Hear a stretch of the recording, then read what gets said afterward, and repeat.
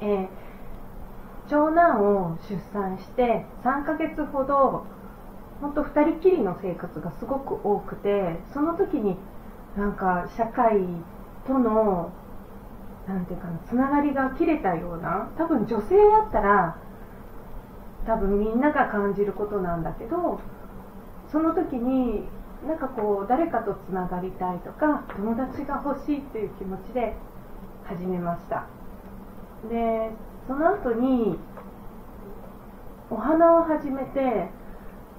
本当に自分がこう広がるっていうか世界が広がりなんかすごいこう楽しいって作るのが楽しいなって思ったことを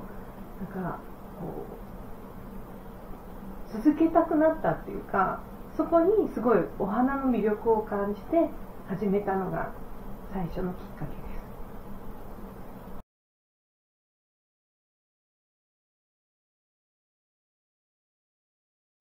今ですね、うん、あのお花を通じて結構お友達から始まったことなんですけどたくさんの人とつながりを持ってこうやって活動しているとお花って育ててる人がいてそれを市場で売ってお花屋さんがいてお花の教室をしてる先生方がいたりとかなんかお花っていう一個のことでたくさんの人たちがつながってることにすごくこう何て言うかなこうそのみんなで何かを成し遂げるとすごく大きくなんかみんなに伝えられることができるんじゃないかなと思って今、えー、花学って言って花を感じて遊びながら何かを学んでいこうっていうことを趣旨に花と遊ぼうっていうイベントをしています。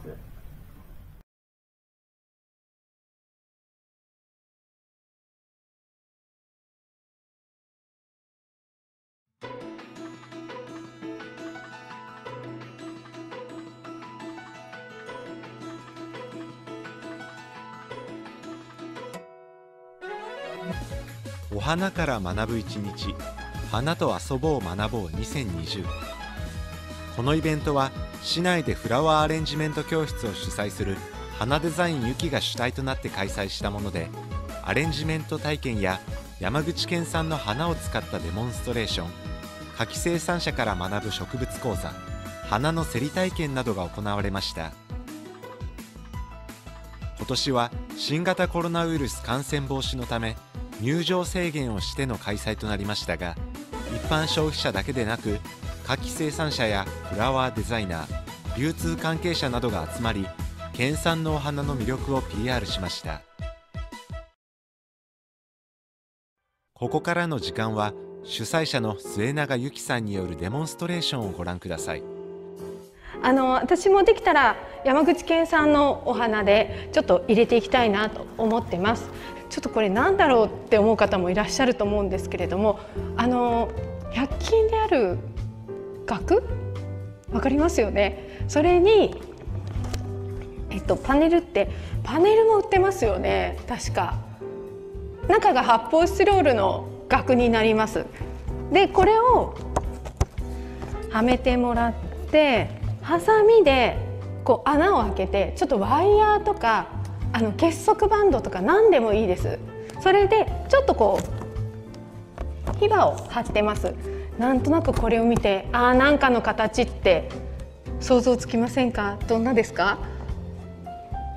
なんとなくもう来月ですよね。はいクリスマスツリーです。えっ、ー、とこれに少しずつ足していきます。で足す時にどんな風に足すかというとあの下から差し入れるようにいくんですけれども木工用ボンドでもいいんですけど木工用ボンドではちょっとあのつくのが時間かかりそうなのでこういうのでなんか工作用とかでもいいです。こうやって下から差し入れるようにしてこうやって糊をこうやってつけてあげたりとかしてこれをどんどんどんどん差し込んでいきます。で実はここの中にこういうグラスチューブって言って試験管みたいなのを見えるかな？ちょっと透明で分かりにくいですけど分かります？結束バンドで留めてるんですけれども。でこういったところにお水を後で入れてあげなきゃいけないんですけれども今ちょっと作業するのでお水が入ってません。でこういうところにこの黄色のバラあのよく金色のボールとかを入れますよね。その代わりにちょっと金色の代わりに黄色入れてみることにしましたでこういった形で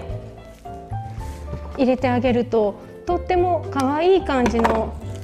アレンジになってこれでこういろいろ刺していけば花瓶の代わりになってくれますでこういう形でお花をたくさん入れていってでさらにあのもっと欲しい人はグラスチューブをいっぱい作ったらいいと思います。でこれをお正月に変えようと思ったら実は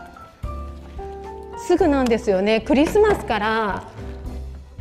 ねあのお正月ってすぐですよねもう5日ぐらいで